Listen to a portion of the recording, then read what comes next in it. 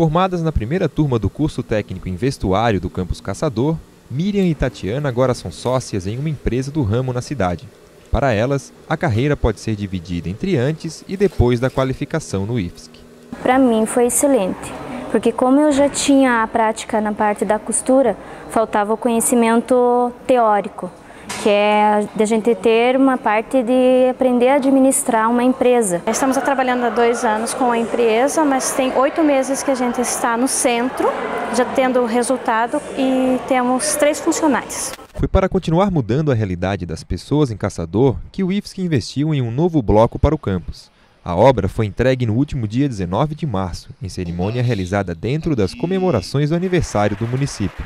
O progresso do, do município e de qualquer cidade ele começa pela educação, né? e principalmente é, a educação gratuita e de qualidade. Né? O que falta para o nosso povo realmente são oportunidades, e essa oportunidade sendo dada é, pelo Instituto Federal, não tenho dúvida nenhuma, foi um grande avanço. O novo bloco conta com mais 10 salas de aula e 10 laboratórios, sendo 4 de plásticos, 5 de informática e 1 de química.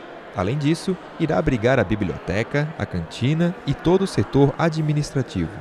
O Campus Caçador pretende ofertar dois cursos superiores já em 2016. O nosso plano era começar a fazer curso de graduação onde as pessoas pudessem vir estudar sem ter que ter 50 ou mais por cento do seu orçamento comprometido para pagar uma mensalidade.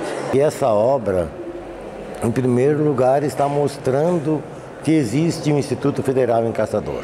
É um desafio e é um sonho concretizado. E sempre as pessoas aqui de Caçador acreditando que ia dar certo, que ia ser possível. Então é uma emoção, é um orgulho e também uma gratidão muito grande a todas as pessoas que se envolveram e que tornaram possível essa noite a gente estar aqui comemorando a entrega do campus à comunidade. A cerimônia contou com a presença de autoridades e mais de 300 pessoas da comunidade.